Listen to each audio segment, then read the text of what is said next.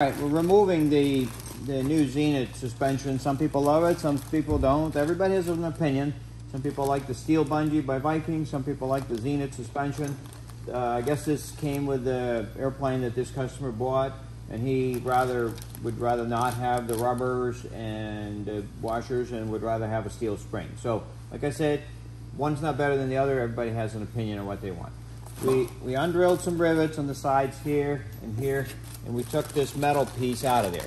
This this piece here. That's that's the support. Um, the airplane was originally not designed to take the support here for the whole airplane, the spring. So an add-on was put in here to help support that.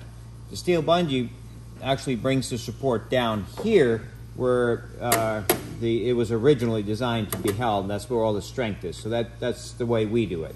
So we took that out, we put some rivets back in there and removed the original setup. Now, with the original setup, uh, what has happened is when they went away from the steel bungee, there was no longer a tube here, uh, 23 and a quarter inches from the center of this tube up to here. There used to be a tube that went right through and it would stick out on this side and it would stick out on the back. And that was where you would loop your bungee around to make all that work. The bungee would go around that and it would go down and it would go around this, which is why I'm saying this is the original location for where the, um, the force was transferred before, and it's also the location where the steel bungee uh, picks up the force through these two uh, items, the straps on the side.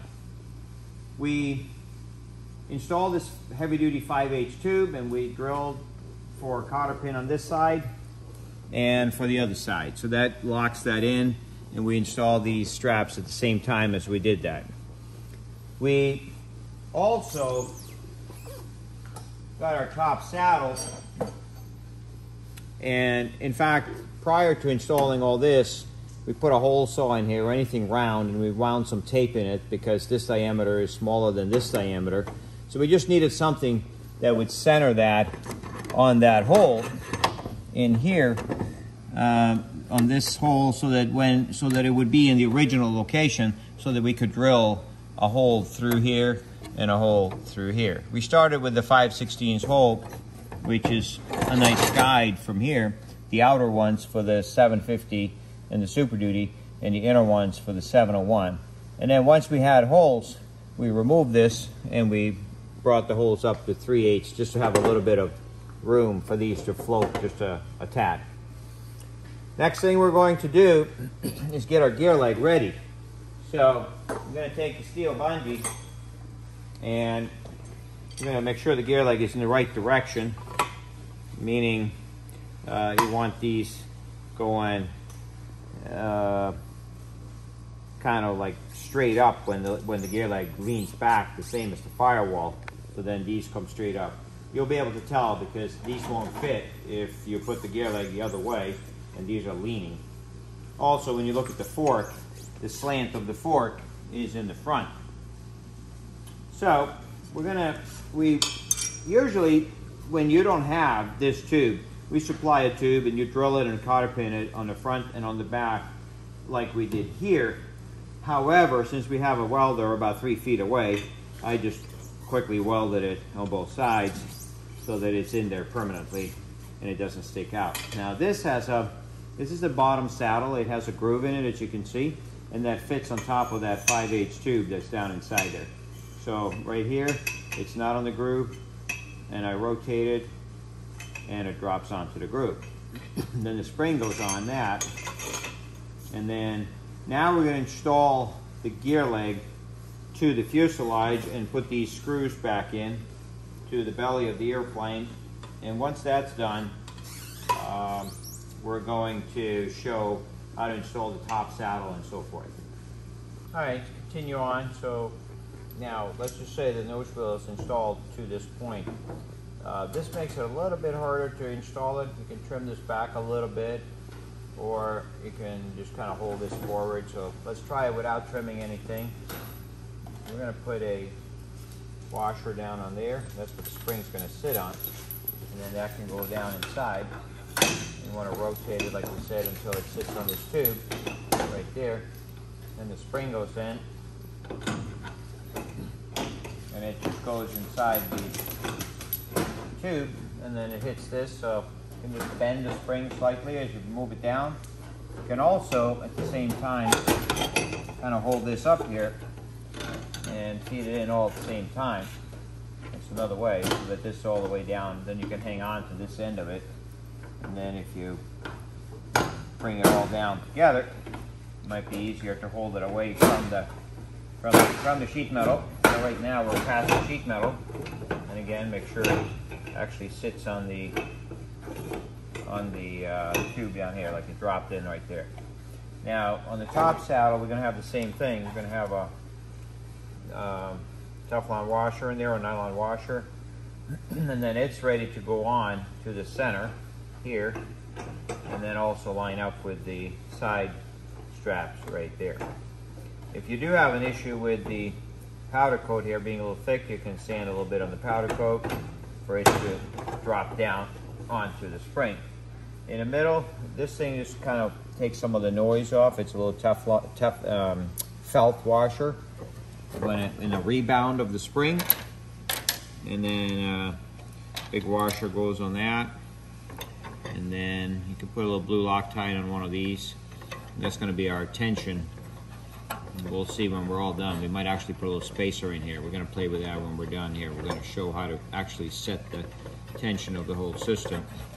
And then, you know, you're going to be pushing this down just enough that you can, and sometimes you can just take a couple of people holding it down, or you can tighten the center one down, which is what I like to do.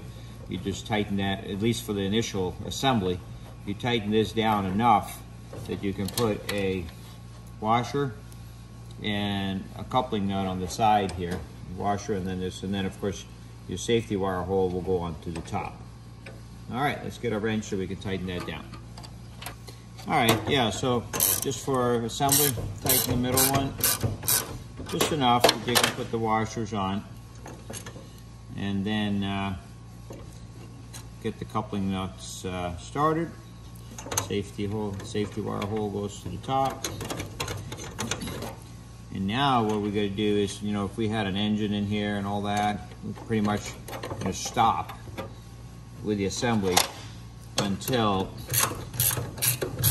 we have an engine in here and then we're going to tighten this one and this one enough.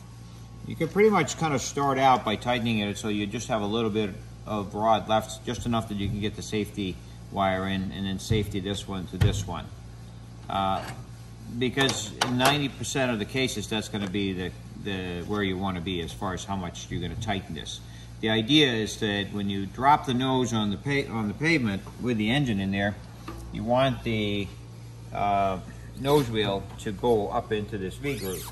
If this bar is like way up here, that means that the spring is not tight enough to push the nose gear down into the V groove. And see right now, with no weight, of course, it's working just fine. So, so you would stop right here, um, and then, uh, but we're just going to assume that we're going to tighten these all the way down with with an eighth of an inch left on each side, and going to safety this to this. Like I said, 80% or 90% of the cases, that's all it is. And then we'll show you how to tighten the or set the tension on the on the middle, the preload. All right, so I got this safetied. I got these screwed down. Like I said, it, it's almost so you can't get the wire through. And I put a little bow in the wire so it doesn't interfere with the middle because the middle does move up and down. And I'm kind of done with that now. Um, looks like I have a lot of thread here. I don't want to use all that thread. I want to be able to use it to actually adjust stuff. Uh, luckily, uh, I have a whole bag of these little spacers. Uh, that's a great thing to pick up at an air show, by the way, in the fly marts and stuff. We use it all the time.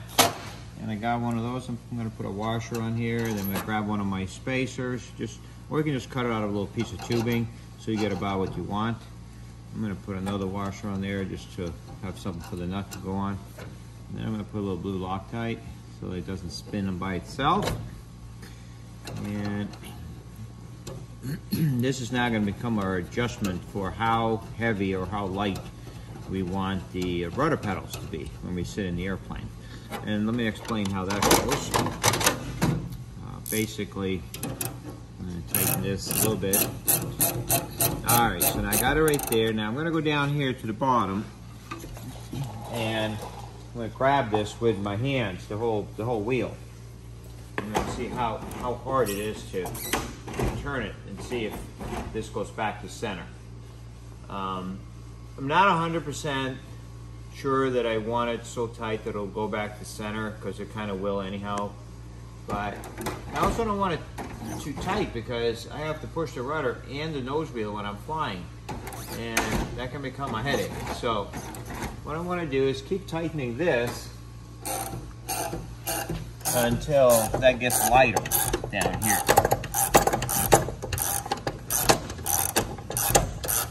Now at some point, the whole nose wheel, see? The whole leg gets loose in there. Up and down, see how that's going up and down? Well, that's obviously the spring is now physically too short because we shortened the spring by tightening that. We don't want that. So we're gonna back off now just enough that the whole gear leg doesn't do that, like right there. And then it still does that. So now that's where I would leave it. I don't have any plate up and down. Maybe a tiny bit. I'm gonna go one more like that. I'm gonna leave it right there. Now it's as light as it can be and there's no up and down play. So it's sized properly between here and here and it rotates just perfectly. So if I crank it down anymore, it makes it lighter. If I back it up, it makes it harder on the steering in the airplane.